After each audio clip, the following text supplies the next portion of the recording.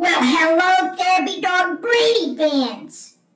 The promise of the Messiah, the Anointed One, or Christ the Savior, was foretold throughout the Old Testament books, Psalms, and prophets. There are over 574 verses that point to his coming. The Hebrews waited for an estimated 6,000 years for the first coming of Christ our Lord. In today's Bible message, Matthew 12:23, it says, "The crowd was amazed and asked, could it be that Jesus is the son of David, the Messiah?"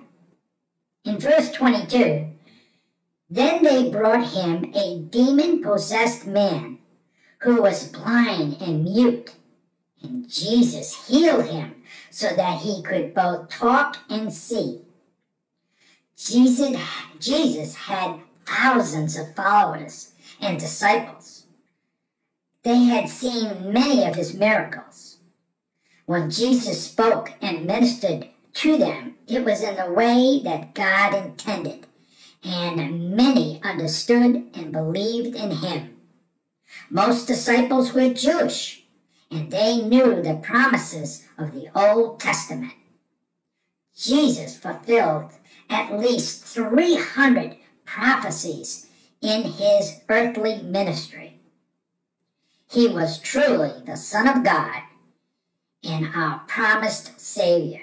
Imagine how the people must have felt realizing that God had kept his promise by delivering his Son, who offered eternal life for all.